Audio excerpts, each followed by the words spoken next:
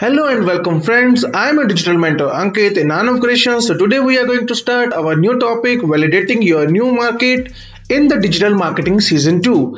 Before start, just subscribe this channel and hit the like button. Before like, just also push the bell icon with set all notifications so you can get all the data. Let's get started.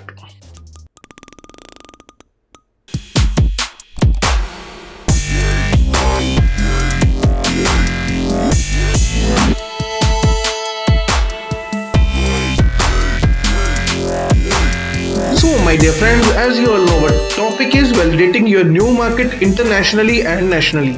So you have come to the right place to start the process of expanding your business into a new countries. Before you start selling your products or services abroad, it's really important to decide which countries make sense for you. Which markets have the most demand for what your business offer do some pose legal or logistical challenges that you need to be aware of.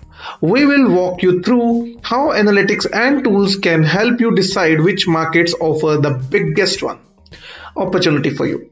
Let's say you have got an online store selling hard to find antiques. Business has been going really well at home in India. So you are starting to wonder if expanding into new markets could be your next big step for you. The question is where? From Bangladesh to Myanmar and US to UK.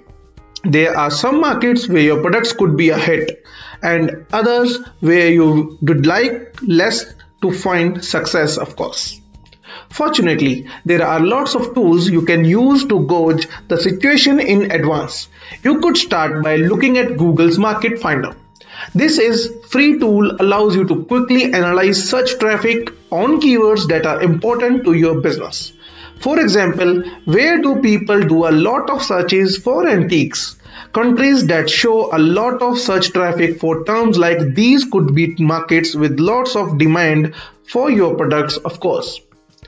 One, on the other hand, countries that don't tend to generate a lot of searches for those terms probably are not your best bet. By using the Google Market Finder, you can make more informed decisions about where to invest in expanding your business. Once you found some countries that do a lot of searching for your products, use tools like Google's Keywords Planner and Bing keyword search tool to find out how much competition there is for search ads.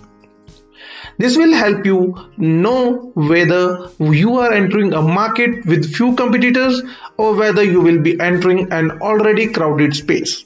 Another handy tool is your web analytics.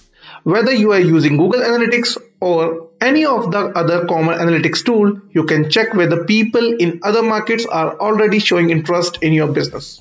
For example, imagine you have only shipped your products within India so far you might notice you are getting a lot of website with visitors from Bangladesh.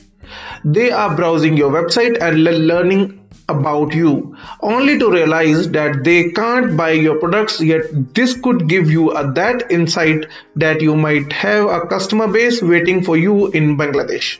So far we have looked at tools to help you understand market demand and competition.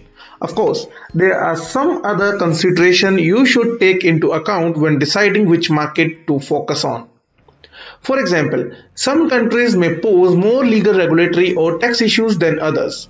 You will want to get an idea of this before you start investing in a project to expand your business. Some market may seem appealing to you on paper but doing some research into these kind of issues will help you avoid any nasty surprises. Fortunately, many governments have websites where you can find resources to help you answer these questions. So let's recap. Expanding your business into a new market could be a great way to grow. Before you jump straight in, use online tools to help you understand where there's strong demand of your products. Then make sure you are not wandering into any legal search yes. Once you have done, you are well on your way to growing your business in a new market as well. I hope you like this video. If you like this video, just like the channel and subscribe the channel with sharing to your near and dear ones and press the bell icon so that you can get all the notifications in my current videos. Thank you very much. Have a good day.